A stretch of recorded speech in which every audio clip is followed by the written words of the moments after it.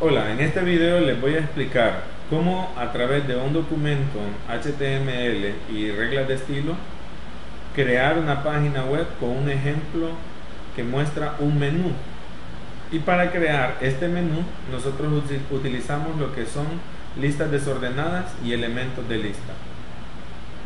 Si yo hago clic derecho aquí y le doy ver código fuente de la página nosotros podemos ver que nuestra página web está conformada por un montón de marcas, tanto de apertura como de cierre. Está lo que nosotros no vemos dentro de un head. No estamos viendo en ninguna parte lo que es la palabra meta. Solo estamos viendo lo que dice inicio, quienes somos, servicio y contáctanos. Pero dentro también de lo que hemos escrito, no se ve donde diga que tenga un color blanco la letra, esa franja color azul y el color de fondo negro detrás de todo esto. Para ello nosotros usamos lo que son las reglas de estilo y las reglas de estilo son las que definen la presentación de esa página web. Explicaré por ejemplo acá la estructura que estábamos viendo allá en el código fuente de la página es la estructura básica de una página web la cual les decía tiene la marca de apertura HTML y la marca de cierre nada más que con una diagonal siempre del mismo nombre HTML con esto le estamos diciendo a un navegador que lo que se va a leer son marcas y estas marcas tienen cierto comportamiento dentro del navegador. Dentro de las marcas head nosotros encerramos todas aquellas marcas HTML que no vamos a ver como por ejemplo el enlace a la regla de estilo, eh, los enlaces a elementos JavaScript que más adelante podemos encontrar en diferentes páginas, el enlace a, para que se muestren acentos y todo que es la UTF-8 y el título de la página web que se muestra en esta, en esta parte, en estas viñetitas que nosotros vemos en los navegadores y los elementos de lista que, permiten las, las marcas HTML son dos, las listas numeradas y las listas no numeradas o las listas ordenadas y las listas desordenadas. Y ambos tienen lo que son los elementos LI además de eso nosotros vamos a hacer que los elementos LI tengan enlaces o anclas que son los que nos permiten acceder al hacer clic a una página web hablando en el lenguaje cotidiano, las listas serían como quien dice en Microsoft Word, las viñetas. Esas serían las listas no, orden, no numeradas o listas desordenadas. Y las listas numeradas son las que nosotros decimos numeración en Microsoft Word. Eso entonces lo vamos a ver ahorita, cómo crear todo esto en, los elementos HTML. Para ello voy a ir a abrir mi, mi carpeta, ejemplos HTML, hago la carpeta menú y dentro de la carpeta menú voy a crear la subcarpeta CSS. Voy a ir a Sublime Text, a un nuevo, un nuevo archivo. Este archivo lo voy a basar en un documento HTML y con el plugin EMET previamente configurado, yo solo tengo que escribir el símbolo de admiración y presionar la tecla Tab para que me dé lo que es el cuerpo principal de una página web. Todos los elementos HTML que la componen en, en lo básico.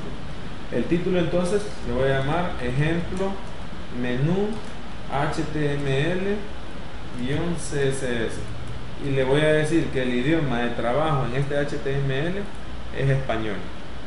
Comenzamos entonces. Todo el contenido del menú lo voy a encerrar en un div. Este div le vamos a llamar un, una, un ID y le vamos a, a ese ID para maquetarlo ya dentro de las reglas de estilo le vamos a llamar menú principal dentro del div menú principal nosotros vamos a tener lo que son los elementos de listas desordenadas. Dentro de los elementos de lista desordenada tenemos los elementos de lista y ellos van a tener un ancla. voy a crear cuatro elementos. ¿Por qué he hecho esta línea de esta forma? Porque MEP es una sintaxis que me comprende para estructurarme correctamente y de forma más rápida lo que es un, un, div con un elemento UL y cuatro elementos que se van a comportar como anclas. Ya estando aquí, me ubico al final de la línea y presiono la tecla Tab. Y yo aquí lo tengo ya. Div con un ID específico que va a llamarse menú principal. Un elemento de lista desordenadas o se ha creado una lista desordenada con una, dos, tres y cuatro elementos de lista. Bien, una vez generadas las opciones de menú, mantengo presionada la tecla control, hago clic en cada una de estas líneas y estoy creando lo que son multicursores. Y aquí con escribir el símbolo numeral le estaré diciendo al, navegador web o el que lo esté visualizando de los diferentes navegadores que no me cargue nada más que la misma página. Vuelvo a hacer clic en uno de ellos para escribir aquí la opción inicio. En este otro la opción quiénes somos. Y en este tercero la opción servicios. Y en el último la opción contáctanos. ¿Qué, va, ¿Qué comportamiento va a tener este? La palabra inicio será un ancla y esa ancla está contenida en un elemento de lista que en este caso es lista desordenada y lo mismo para los demás. Guardo cambios, por ser la primera vez que se hace esto, me voy a la carpeta menú y a este le vamos a llamar menú ejemplo. Guardo, me voy a mi carpeta y voy a ir a abrir este menú ejemplo con Google Chrome. Al abrir mi menú ejemplo podemos ver que incluso los navegadores, aunque nosotros no le hayamos dado ninguna regla de estilo o reglas de presentación, él ya tiene sus respectivas reglas de presentación, como viñetas y la línea subrayada indicando de que esto es un enlace. Volvemos entonces y voy a enlazar mediante la palabra link lo que es, y al presionar la tecla Tab, lo que es la hoja de estilo. Y en este sentido nosotros solo indicamos que estamos trabajando en la carpeta CSS y el archivo se llama menú estilos .css el nombre del archivo lo copio guardo los cambios. Yo de ahora en adelante voy a estar usando la combinación de teclas control S para guardar los cambios. Hago un nuevo archivo basado en hojas de estilo y lo primero que voy a cambiar de reglas de presentación es del body. Le voy a indicar a body que va a trabajar con el tipo de letra Arial y va a trabajar con un tamaño de letra de 12 píxeles. Guardo cambios me voy a la carpeta dentro de menú me voy a la carpeta CSS y aquí pego el nombre que yo le escribí al, al enlace que hice para la regla de estilos en la página HTML y en este sentido me vengo a Google Chrome y recargo la página vi y se notó aquí que hubo un cambio. Ahora se está trabajando con un tipo de letra de, de, de Arial y en tamaño de 12. Podemos comprobarlo. De 12 cambiarlo a 20 píxeles y en Google Chrome al actualizar el tamaño de, la letra cambiado. Eso nos está indicando a nosotros que nuestra hoja de estilos está correctamente enlazada este mensaje eh, me aparece con cada número de veces que yo guardo el documento en Sublime Text porque estoy trabajando con una versión no registrada, una versión gratuita de momento. Continuamos entonces, actualizo mi página y puedo ver que hasta ahorita yo estoy afectando lo que es eh, la regla de estilo, pero estoy afectando una marca HTML. Voy explicando en qué consiste al momento de crear las reglas de estilo, en qué consiste lo que estamos haciendo ahorita. Ya sabemos que las reglas de estilos cambian o es la definición de las diferentes reglas que nos permiten cambiar características de presentación de una página web. Y la forma de trabajarlo es inline. ¿Qué significa trabajarlo de forma inline? Que yo puedo venir y aquí en el head abrir lo que es una opción de estilos e indicar para esta página cuáles son los diferentes estilos. Pero eso no es muy recomendable, porque si yo tengo que diseñar diferentes páginas web para un sitio, suponiendo unas 30, en esas 30 tengo que estar haciendo lo mismo. Tenemos la segunda forma, que es definir directamente los estilos en el encabezado de las etiquetas. Significa que dentro de la etiqueta, en este caso está una de párrafo, significa que dentro de la etiqueta yo abro espacio aquí y empiezo a indicar cuáles son las reglas que yo voy a ir cambiando dentro de él. Esto tampoco es una alternativa muy útil porque si tengo nuevamente que diseñar un sitio grande, no, sería muy práctico y los elementos que yo voy a estar usando los voy a estar copiando y pegando y en más de alguna ocasión me puedo equivocar. Y la alternativa recomendable es colocar en la sección head lo que hice que es enlazar una, una página web perdón, enlazar lo que es una hoja de estilo a mi página web. Y en este sentido, yo estoy usando lo que es la sintaxis. Y podemos ver que yo en la sintaxis tengo que dar el nombre del selector. Con esto le estoy diciendo a, a mi navegador web a quién voy a afectar.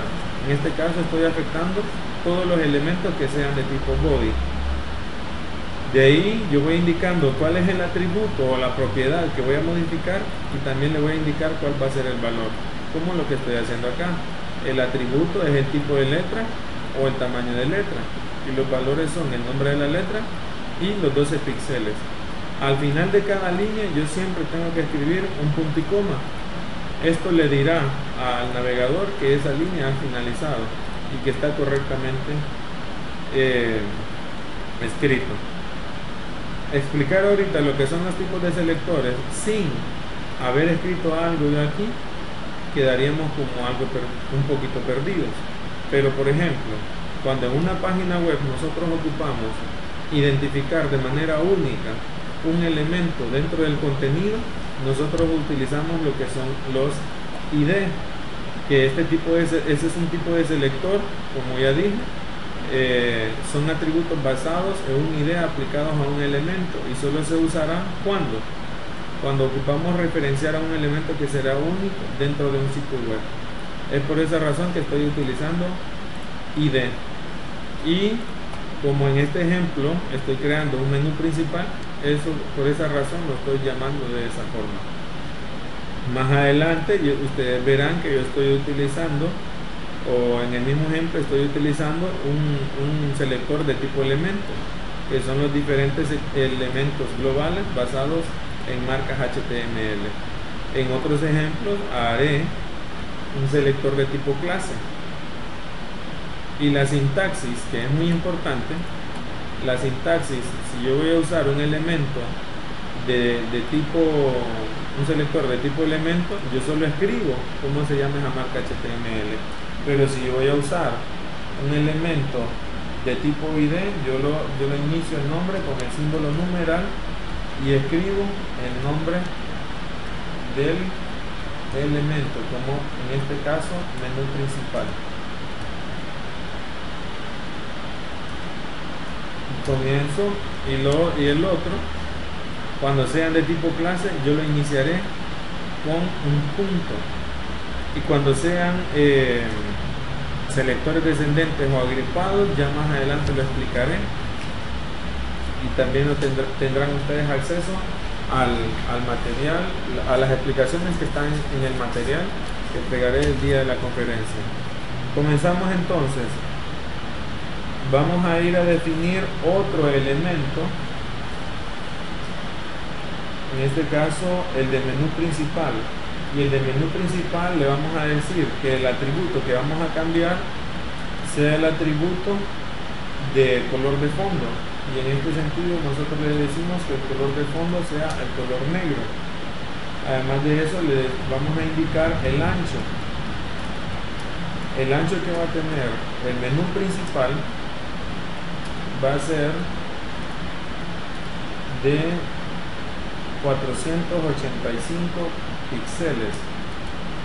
Además de eso le voy a indicar que los márgenes en superior, derecho, izquierdo, inferior sea de 0 píxeles y que el relleno interno sea y que el tamaño de letra ya lo tiene heredado del body que va a ser de 12 guardo cambios presionando la combinación de teclas control S y presiono F5 y esto es lo que he logrado hasta ahorita. Ahora voy a hacer una composición aquí.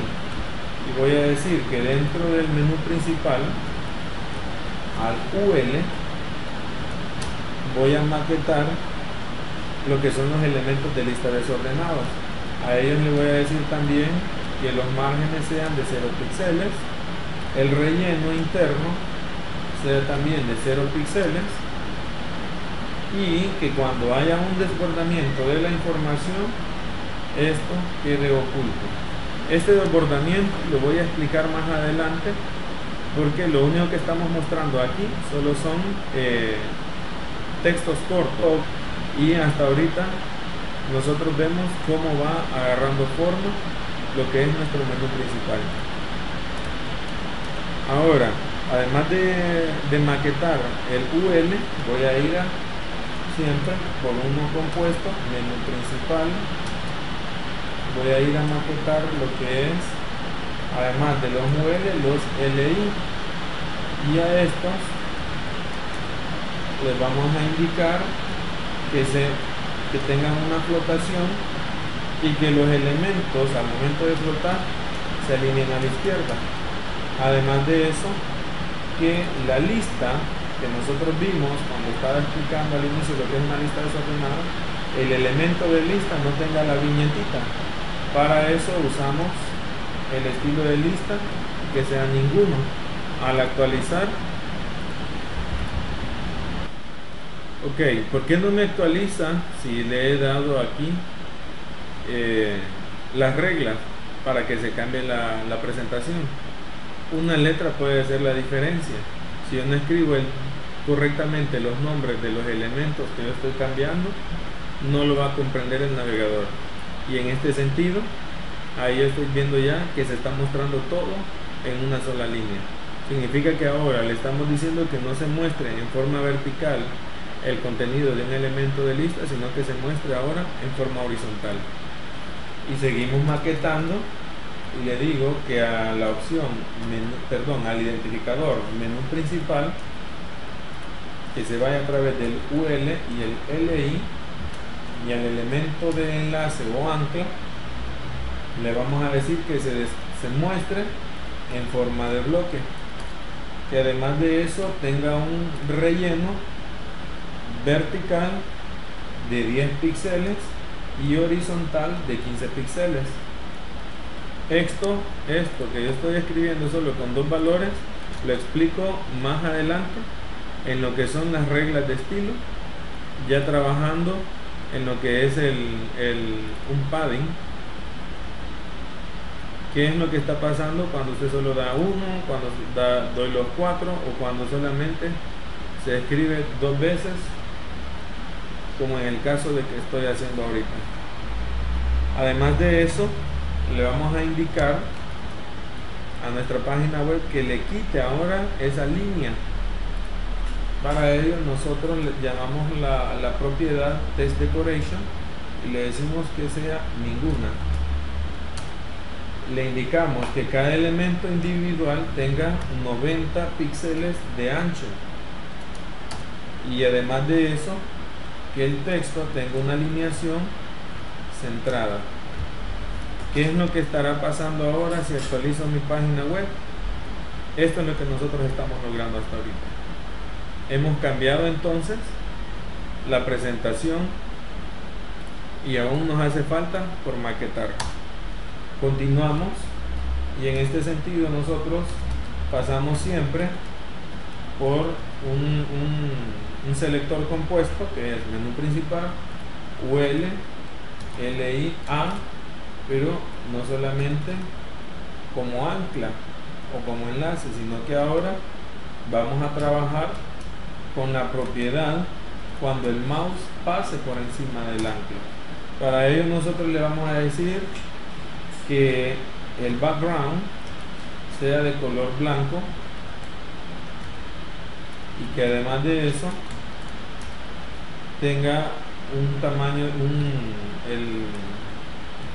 la forma como se escribe o el peso de la letra sea negrita. Y en este caso vamos a usar de CS3 una propiedad o un, un atributo que se llama transition.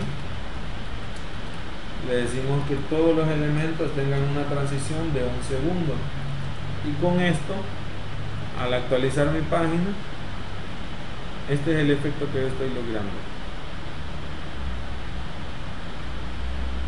Podemos nosotros incluso cambiar ese efecto que no se vea así blanco. Lo vamos a colocar en color azul. Cambiamos y el color azul que yo tengo es 347 FE5 ese es el color azul en notación hexadecimal y al actualizar eso es lo que nosotros estamos logrando para que se vea aún mejor la presentación de todo esto le digo que a los elementos el color azul que coloqué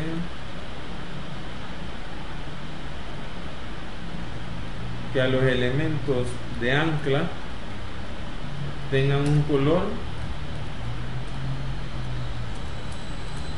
blanco guardo cambios me voy a la página. Esto es lo que hemos logrado. Si yo le quito la opción de transición al actualizar mi página se aparece de esta manera. Y este es el ejemplo entonces de cómo nosotros podemos hacer para maquetar una opción de menú utilizando reglas de estilo y cambiando lo que es la presentación del contenido de una página web y en la página web hemos utilizado lo que son los UL, los LI y lo que siempre va a estar a la par de todo diseñador de páginas web, un div que nos permite a nosotros contener elementos dentro de cajas especiales.